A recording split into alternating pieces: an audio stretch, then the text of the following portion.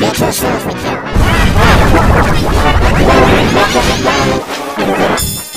you enjoying the workplace so far?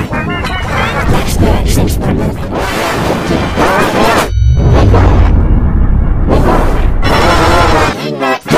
Let's steal the.